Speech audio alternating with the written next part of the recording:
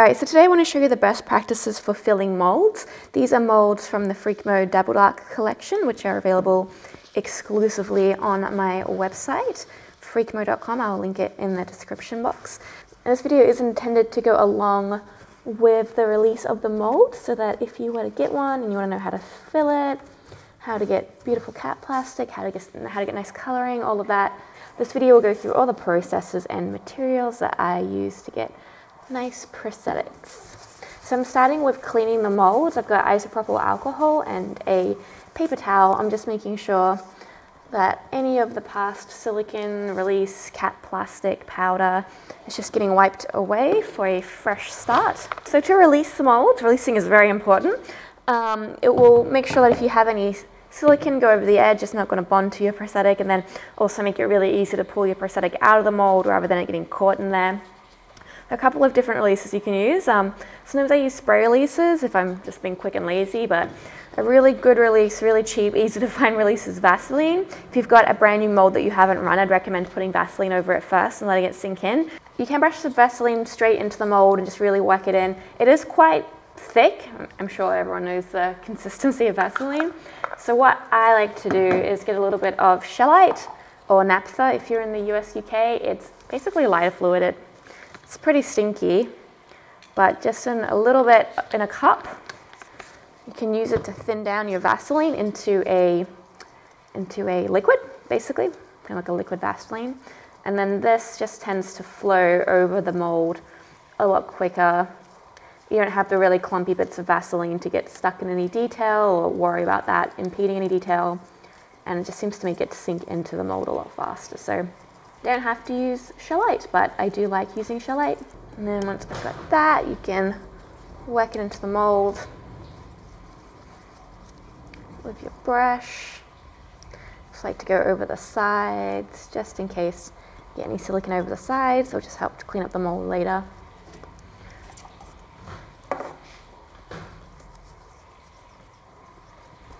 Especially details in the skin graft here, very important to release in there so that doesn't grab and become a nightmare to demold. I just like to work it in there just to make sure that it's not caught in any of the details, any of the little undercuts. It's just nicely soaked into the mold. Okay, now that my molds are nice and released, I'm going to get the cap plastic ready. There's lots of different brands and kinds of cap plastic now. One of the originals was Baldiez. One I've heard really good reviews for is the um, Bald Effects for the clear cap plastic and you can get it in this form now where it hasn't got the acetone, it's dry, so you can get it internationally shipped here to Australia, which is awesome for me.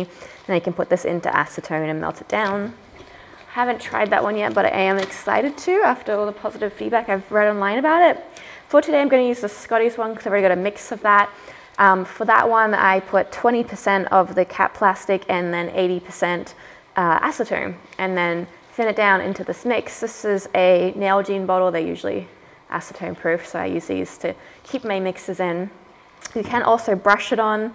If you were to brush it on, I'd recommend a thick brush. You'd maybe want to use something kind of like this, with a thick end, mix it up 50%, 50% um, cap plastic, 50% acetone, and then you can just brush it on and try and keep the brush moving so it doesn't pull um, or like puddle in the center benefit of using a spray gun is you get a nice even coating and it dries really quickly. Um, you do have to have it thinner though and, and generally do more coats because of that. I usually do about three. Downside of spraying is you need the spray gun, you need the um, air tank pump thing, and then you also need a respirator because this is emitting, the airbrushes emit tiny little specks of plastic into the air and you don't want to be breathing that in. So because I'm doing a few, I'm going to use like my industrial size setups. I've got this like big air gun, which will make light work of this. You can also use little airbrushes like the Paasche H is pretty good for this. Um, so I'm just going to talk through what I'm doing now and then put on my respirator. So I'm going to fill up my air gun. I'm going to spray three coats over these. I'm going to rotate the board so that um, I get coverage from different directions, which will help ensure there's no gaps where it's not hitting that are going to tear later on, just nice even coverage. Um, and then I'm going to take my mask off and talk to you again.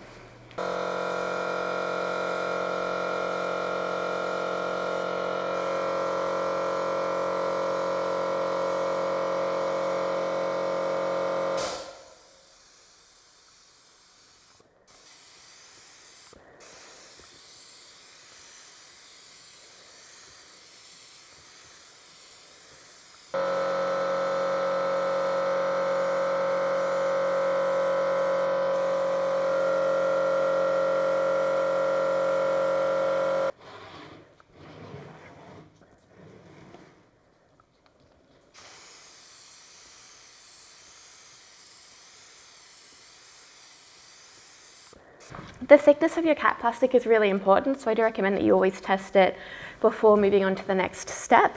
So you don't want it to be too thin. If it's too thin when you demold it, it's going to fall apart, it's going to have holes through it, it's not going to have the integrity that you need it to have. Um, so to check that it's not too thick, you're going to want something sharp. Go out onto this outside border, outside this flashing line, because this border here you don't need. Don't do it in the detail. But on the outer edge, find an outer edge, get something sharp, and try and pick it up. And if you can pick it up, and it maintains like a straight uh, up and down bubble, I guess. Let me use the other camera to show you a close up. So you're gonna grab it, lift it up, and if it lifts up without breaking, then you know it's ready to go. If it falls apart and you've got little holes coming through, you do want to spray another layer or two until it is holding itself together. Um, the other thing to be aware of is going too thick. The first time I made my pieces, I made the cap plastic too thick. Um, so you, you want to keep doing layers until it only just holds together and then stop. If you do too many layers and it's really thick, when you go to apply it, it's going to have this thick coating over it, which is going to look like plasticky. It's going to crinkle weirdly, have a weird shine, and it's going to be harder to dissolve the edges. So the goal is to have it really quite nice and thin so it's easily blendable and it doesn't show up too much on the skin or on the prosthetic, but thick enough that it will hold its shape and not have holes through it. So it's that Goldilocks, not too hot, not too cold. And I'm gonna mix up my silicone. So let's move the camera to focus on here. So I have some scales here. So I'm going to start by mixing up a pale tone to put in the center of this hand and of the skin graft. So it is optional whether you want to have it be just one tone or have multiple tones throughout it. So I'm going to start by showing you how to do dual tones in a prosthetic and then we're going to move on to doing just the single tones. So for this one, I'm going to run it in the um, pale flesh tone, which is not that one. So to start with, I'm going to run it in the pale flesh tone and then I'm going to add a little bit of white pigment in there. So we're to mix it just a small amount because we just need it to be in the center. So I've got my Platsil Gel 10A in the squeezy bottle to make it just quick and easy to, to weigh it out. So let's do, let's do like five grams of A and we'll do five grams of B, Platsil Gel 10B. So I've got 10 grams of A and B. I'm going to do 17 grams of Deadener. So it's going to be 170% deadened, which is my preference. Cool, so keep in mind as soon as this is all touching, it's going to start curing. You have about 10 minutes, 5 to 10 minutes, depending on how hot it is outside. So I'm going to grab a little bit of this white pigment. Usually silicon pigments are very, very pigmented, so you just need like the tiniest bit. So we'll put a drop of the pale flesh term, drop of the white, and we'll see what that looks like. I think it just needs a little bit more opacity. So now that we've got that concoction mixed up, I'm going to start by putting it in the center of these two prosthetics. Mm, let's get this focused in. And I'm just going to focus this where I want it to go.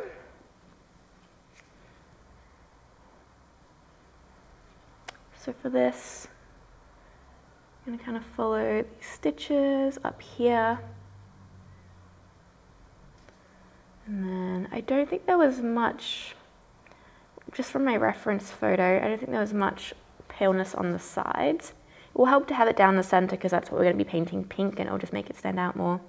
Don't think there was too much on the bottom either. It's mostly that top section, which had a paleness um, from it having this moist healing thing happening. So basically they just put a moist bandage and it make the skin made the skin basically if you've been in the bath for like a month makes the skin pale and wrinkly. And then let's do the skin graft. So I just want this to be a thin coating just where the skin graft section is which is this raised area. So generally if it's raised in the mold it's going to be lower in the finished piece but the fact that it's raised in the mold can make it a little bit trickier to keep it in place because gravity will want to pull it off to the sides. So for this one, I find just a thin amount works, works easier to keep it in place. And then what I like to do is just clean up any areas where I've gone too far over the sides of some cotton tips. So for example, you can see over here, I didn't want that to be a pale color. Um, just go around the edges and just be gentle with this because I have accidentally pulled up the cap plastic while doing this by putting too much pressure. So you don't want to put on so much pressure that you're tearing up cap plastic or anything. I also want to clean up this edge just to make that a little bit tighter. And clean up any spillage over here so that the silicone is only where I want it to be. And as it cures, it's going to keep moving because it's a liquid, or gel, I guess it's a gel. So you can just keep coming and checking that it hasn't spilled anywhere that you don't want it to be. Okay, I think that's looking pretty good for now. And I'll just come back and keep checking on that every few minutes and just cotton tipping away areas that I don't want to have it be there. Okay, and I'm going to focus on pigmenting one piece just all one color. Another thing I should mention is when you're filling, it is helpful to have something like this to make sure your table is level. Now this table definitely is not, which means that the prosthetic is going to be on a slant, and because the silicone's a gel, it's going to want to go with that slant. So let me just quickly make this more level. Cool, that's looking a lot more level now. So the silicon that I prefer to use to fill molds is Platsil Gel 10. It's kind of one of the industry standards for what people fill with. You can get different softnesses, different hardnesses, is that the word hard? Different softness and hardness within the Platsil series. Sometimes people use Smooth On as well, which is a different kind of uh, silicon setup, but uh, I'm going to use gel 10. And so you've got uh, an A and a B, which I have decanted into these squeezy bottles just to make it easier for myself um, when I'm filling molds, A and B. And what happens is when A and B touch each other, they catalyze each other and they go from a gel into a solid. So it's all a chemical reaction, so it doesn't matter whether you have a massive mold or a tiny mold, they're going to take the exact same amount of time to cure because it is just a chemical reaction at that point.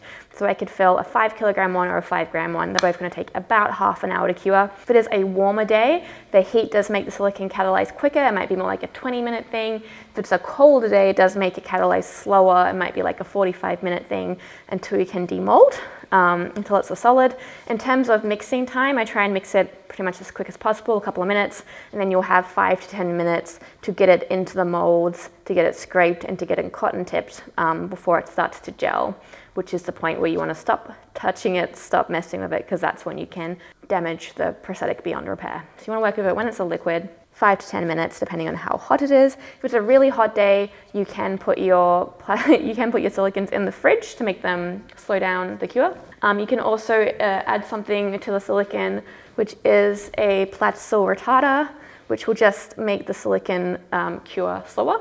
You can add, I think it's up to 4%, 2% is kind of a standard amount, 2% of the total weight, so it's just a small amount and that will um, prolong your cure time, especially if you're filling lots of molds at once. You might want to add that so you can get them all filled, scraped, and cotton tipped before it gels. It will just be longer until you can spray the back with cap plastic. Um, the silicon is a platinum silicon, so it's totally skin safe.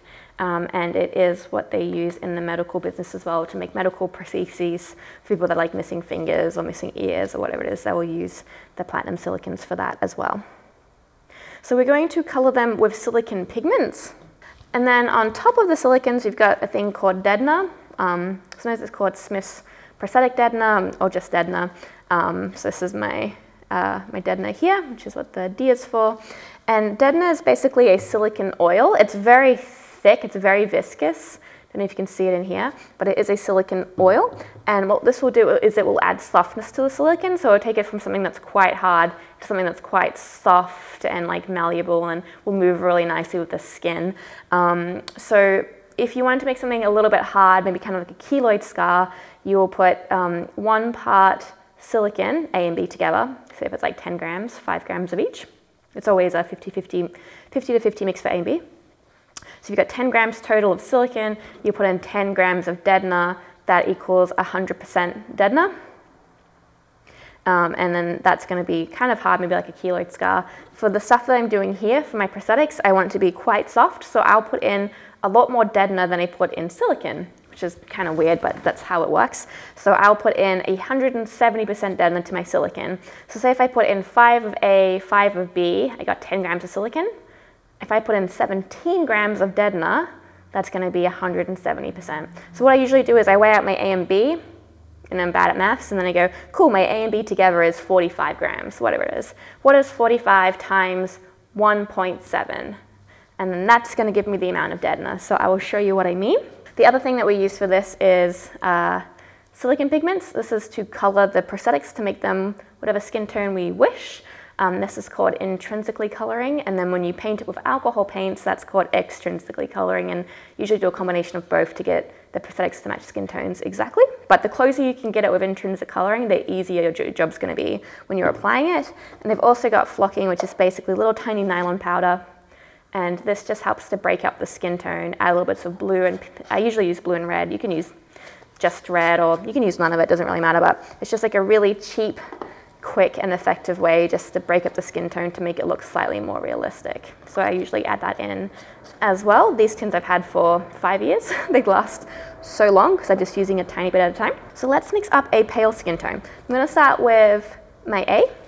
I'm going to be filling uh, four molds that are quite large, so I'm going to do a larger batch. So I'm going to add some retarder to this batch. Oh, do I need it? I've got four. No, I think I'll be fine. I'm not going to add it. I'll be fine. It's, it's a cold day here.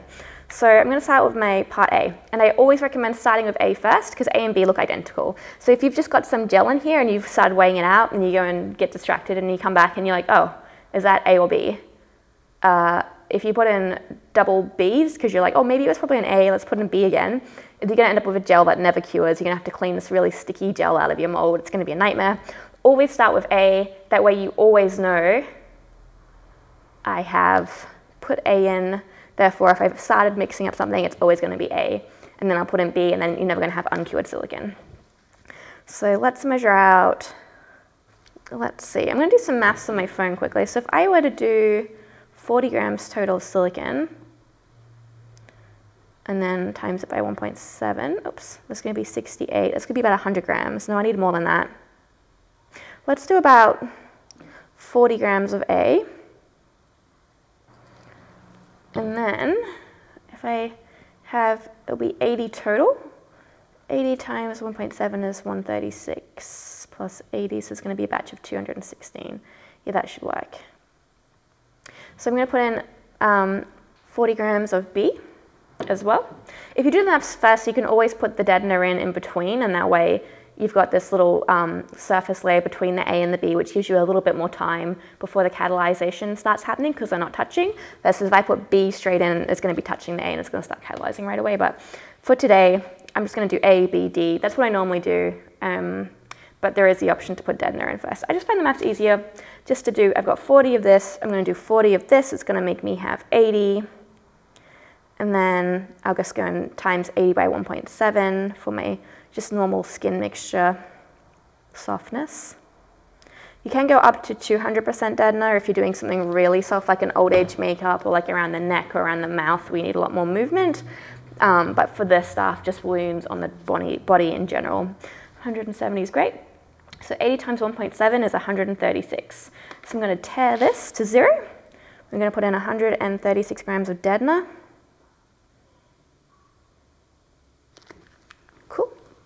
And then I'm going to put in my little bit of flocking.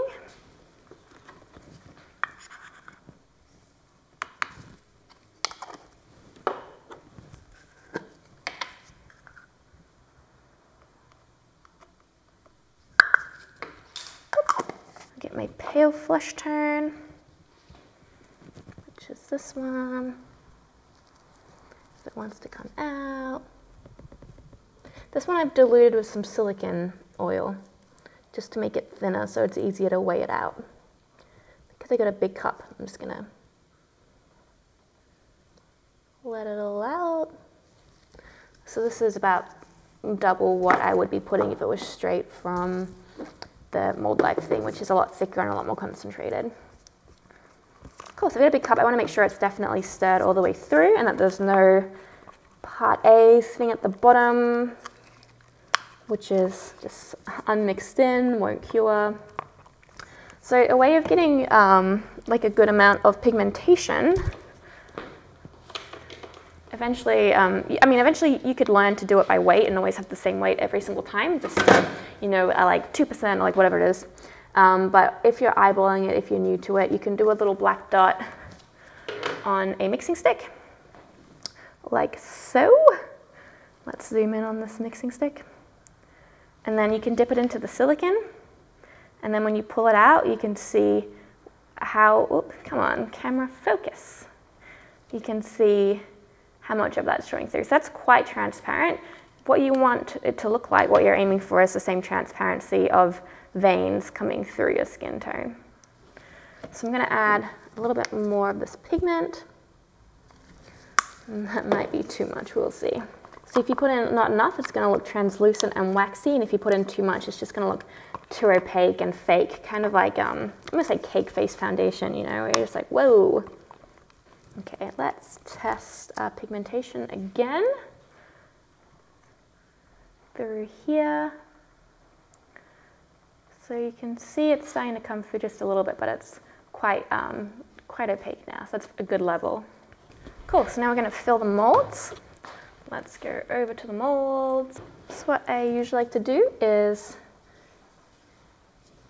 get it into all the molds first before scraping if I'm doing multiple molds.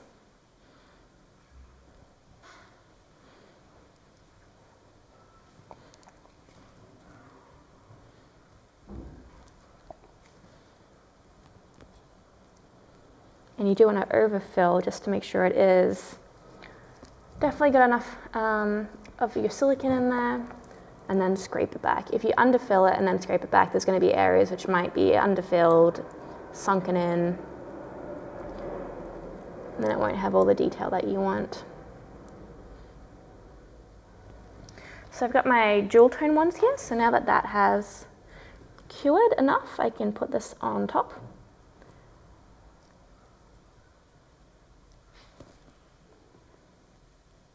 Make sure you fill in all of the flashing as well.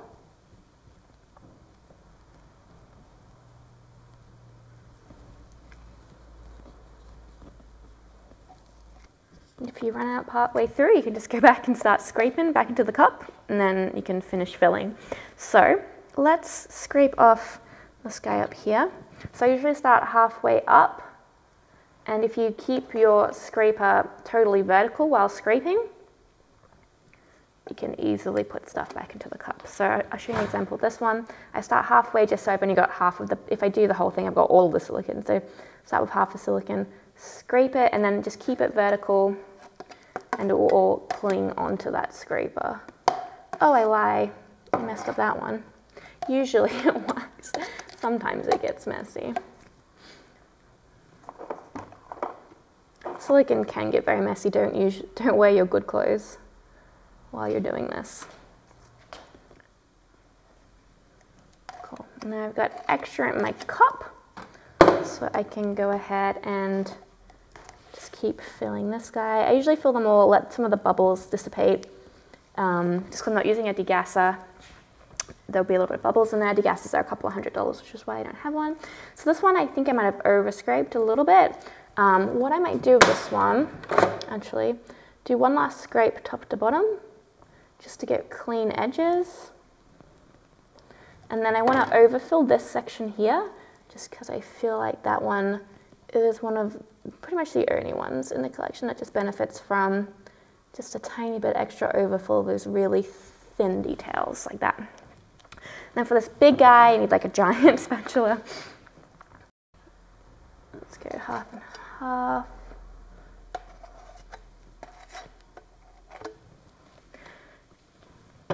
Got a couple of different sized um, of these. Um, basically, they're paint scrapers, I think, or metal filling knives. A couple of different sizes for different molds. Makes it easy. The amount of pressure that you put in there is important. So you should do half half just to get off excess silicon. And then for a final scrape, just to get it nice and clean, I'll start from the top. And you want to put enough pressure that you get a clean scrape, so that all these edges, well, you don't want any silicon uh, matte, no longer shiny from the silicon. But you don't want to put so much pressure that you indent it and make the mold underfilled or that you scratch the cap plastic and cause, te cause tears in the cap plastic. So it's kind of like a Goldilocks, not too hot, not too cold. You've got to do it a few times to get the feel for it. One of the benefits of our molds is that they are a Shore 40 hardness, which means they're quite a hard silicon. So when you're pressing down on them, it's, it's a lot harder to press down than it would be on like a Shore 20 mold. And that means that it's going to be harder to scrape so hard that you underfill the mold just because they don't have a lot of give to them. Ooh, got a bit more that way. Sometimes I change the direction if I'm feeling like I'm not getting it all. What I was saying is one of the benefits of our molds being a Shore 40 firmness is that it makes it a lot harder to push it down so far that it becomes like really underfilled. Um, which then means that your mold will come out looking more accurate to the sculpts. So they're going to be mysteriously thinner. There'll always be a little bit of underfilling with flat molds because that's just the reality of flat mold, but the Shore 40 hardness definitely helps with that. And then in terms of, yeah, not scratching up the cap plastic, that's just practice. You do it once and then you're like, oh, that's, that's too hard. Okay, cool. I'm not going to do that again. So what I'm doing now is I've grabbed some cotton tips and I'm going to cotton tip the edges. So the purpose of this is we've got this little tiny edge, this um, kind of uh, this straight line around the edge is called flashing. And just within this flashing, there's a section that's ideally about half a centimeter, five millimeters or so uh, deep, about the depth of like the, the head of a cotton tip, really. Um, is ideally a section like that which has no silicone on it, it's just cap plastic, and this is going to be our blending edge. So when we put acetone on this edge, it's going to blend it seamlessly into the skin. And if we have a really thin amount of silicon on here from filling the molds, it's not going to blend out. The silicon doesn't dissolve with anything. So we're going to double check that there's no silicon around that edge so that when we glue it down and we are blending out our edges, this edge is going to be beautiful and blend away. So what I usually do is I get a cotton tip. I'll go around each edge twice. Um, try and keep that edge free from silicon about the width of the cotton tip head. If you get too much silicon on your cotton tip, just throw it away and get a fresh one. And I'm just going to follow this edge around twice. And if you've got the right light, so I suggest you get a lamp, or I've got box lights up here, or sunlight from a window. Um, get natural light reflecting on your prosthetic. And then you can clearly see if it's shiny or if it's matte. It'll be shiny if it's got silicon on there, and as you wipe away the silicon, it's going to become matte. So if you position the lights correctly or position yourself with good lights, it will make it a whole lot easier to see what you're doing for the cotton tipping round. And sometimes um, if the mold is a little bit unstable, if this um, you know, table has made it like uh, go more to this side, if I haven't balanced it out properly, you might gouge into it and find there's one edge which you can just see like a very clearly defined silicon edge here. Um, you don't want that. So if you have that, you can wipe away that edge to make it clean again. And then just a very delicately cotton tip at this edge just to feather it out. So you've still got that defined edge that's just cap plastic, but there's not like a, a straight line through the silicon next to it, which is gonna show up when you apply it. So you can feather out or feather in depending on how much of a line you've got. Usually feathering out towards the edge works a little bit better. So I tend to soften things that way. That way when you, you're applying it, you still have that edge. That's just cap plastic. It will dissolve, it will look nice. And then any part that got over flooded isn't going to look harsh next to it. It's just going to be feathered out. So you should be able to see clearly what I'm talking about with the skin, um, the crusty stitches mold, just because I have definitely overfilled it. So when I go around this edge, you're going to see that's going to be like a harsh silicone edge there. So oops, and if you go into the flashing, just check your cotton tip. So I'm going to do my normal thing of going around it twice before I feather it.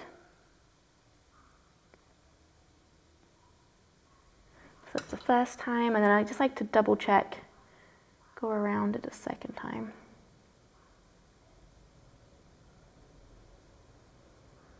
I usually allow myself a few cotton tips per each mold, just in case that happens.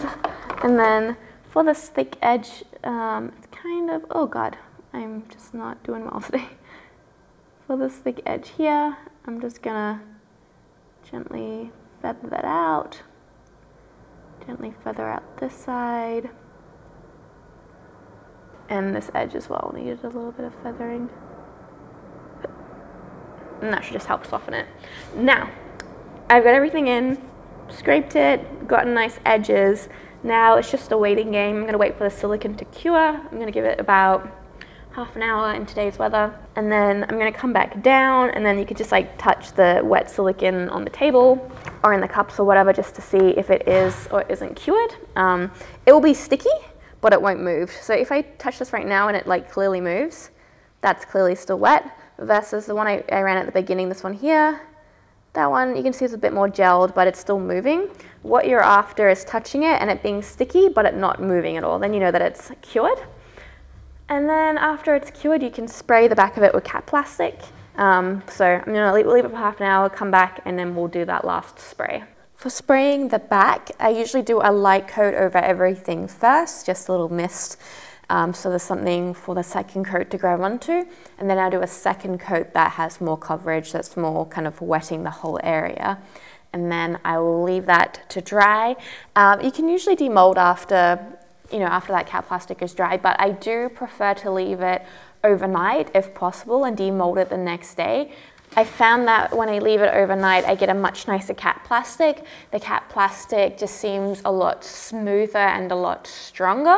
Um, so it's easier to get away with thinner cap plastic edges if you leave it overnight. And just if you demold it straight away, I find the edges look a bit more stretched out. Um, I'll, I'll see if I can find a photo to put in here to show like visually the difference between the two. So if you can, leave it overnight for best results. And then when it comes to demolding, um, a lot of studios like using translucent powder. I just use baby powder, but if you have something like the neutral set or any kind of translucent powder, I've seen RCMA, no color powder used as well. Um, some of those different translucent powders can work quite nicely for demolding. And what you want to do is you want to put some of the powder on the back of the prosthetic first. Uh, it is important to use powder on both the front and the back.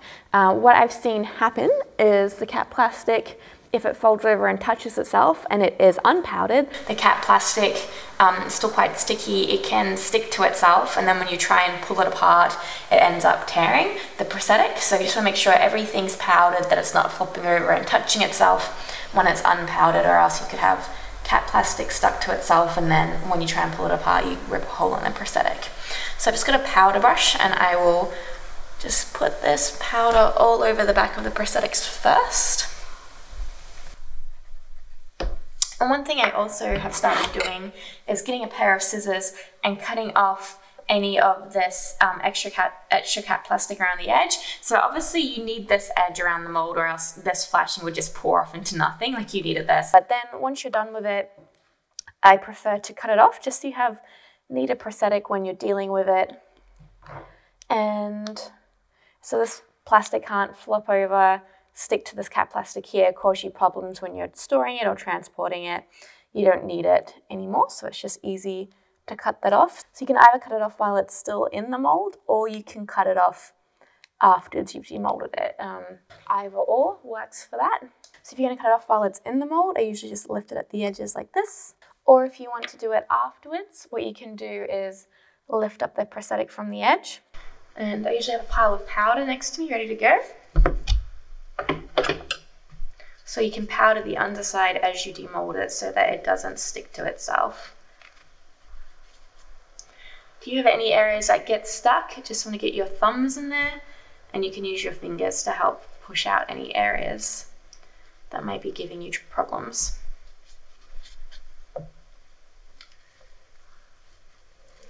The only place I wouldn't want to put fingertip pressure on is the cap plastic itself because that's where it's quite thin, but any part that you have silicone, you can push out with fingertips.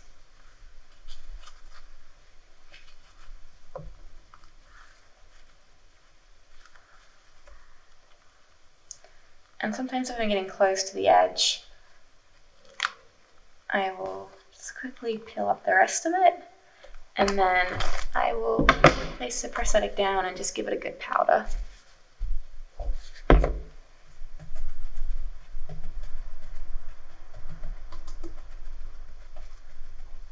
So if you want to cut off the plastic this way, you can do is just lift up the plastic like this and then trim it from that edge.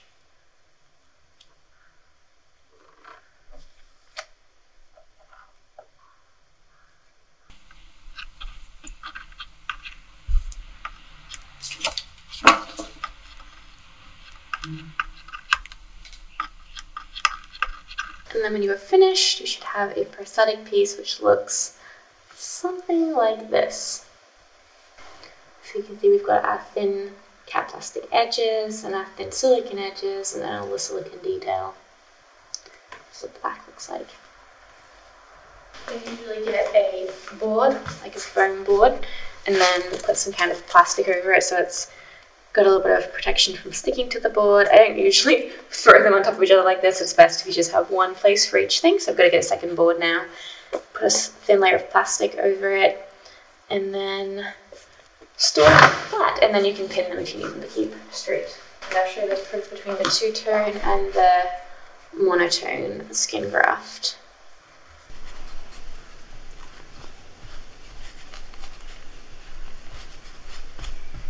And this is the hand piece demolded. Do you see the two-toned in that?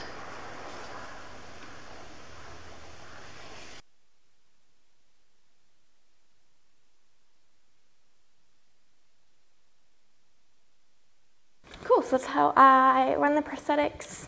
Best practices for cap plastic, colouring, filling, cotton tipping, and demolding and I'll come back up for another video about how I suture and staple them and then of course all the application videos as well. Thank you so much for watching.